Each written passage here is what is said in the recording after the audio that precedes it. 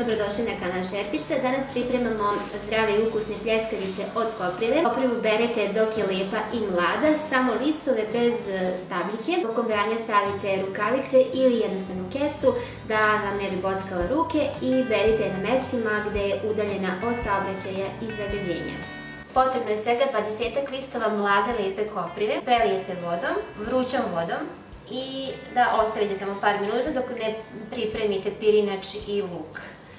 Znači, ovo sad radimo da bi oprali koprivu i da bi ona e, prestala da bocka.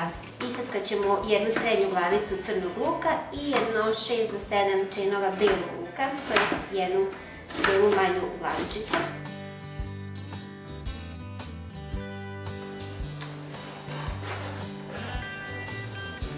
Ispržite crni luk sa kašikom ulja. Ja koristim maslinovo, ali možete i koje imate suncokretovo ili da ispržite na maslicu. To je potrebno 250 g integralnog pirinča da dobro operete, mada možete da koristite i beli pirinač, ali vam je mnogo ukusnije i zdravije sa integralnim. Kada je luk počeo da dobija boju, dodajte i 1 decilitar vode. Dodajte mu i beli luk i krčkajte dok voda ne ispari. Zatim sitno iseckajte koprivu, a možete da je iseckate i u seckalici, tako će vam biti brže i sitnije.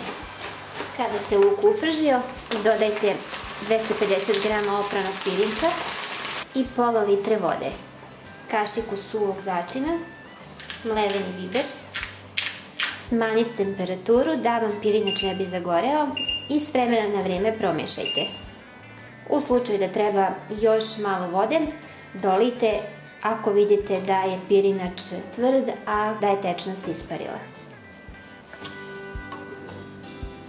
Ovako on treba da izgleda kada je gotov, mekan i e, bez imalo tečnosti. Ako primetite da ima tečnosti, nastavite da krčkate jer e, ne sme znači, unutra da bude vode, da nam ne bi e, pljeskavice bile mekane i tako ih nećemo lako moći ni formirati. Rinku sam ugasila i tu ću sada da dodam iseckanu koprivu. I ja obavezno dodam iseckano peršunovo ili celerovo lišće. Sada sve dobro izmešamo, probamo da li je dovoljno slano. Namjerno sam stavila iseckanu koprivu u vrelu rižu i ostavit ću tako zajedno da se hladi jer će tako kopriva malo da omekša dodatno. Dodatno će naravno i urerni da omekša i da pusti ukus i miris. Sada ćemo ovo ostaviti da se potpuno ohladi i e, potom ćemo rukama gnječiti da bi dobili kompaktnu masu, da ne bi morali dodavati jaja da bi povezivali sastojke. U ohlađeno dodajte jednu kašiku sitne crvene paprike i ja dodajem ovu suđuk ljutu papriku jer volim da malo budu pljeskavice ljutkaste. Ovo možete i da samiljate u seckalici, a možete naravno i ovako da ostavite da se pirinač vidi. I uzimate pomalo u ruku, formirate veličinu koju želite. Možete da pravite i u obliku ćevapa, pogodne su da se zamrznu pa da po potrebi vadite i pečete.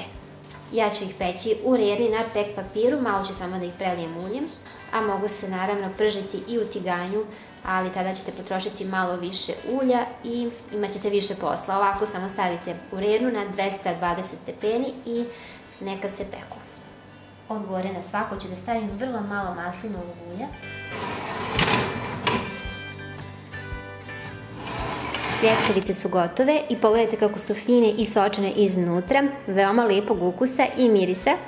Potrebno im je samo 20 minuta na 220 stepeni, nemojte ni slučajno duže da se ne bi osušile. Uživajte u ovim odličnim pljeskavicama, naravno pišite mi utiske i ako ste novi na kanalu, prijavite se na kanal da bi vam redovno stizali svi novi recepti.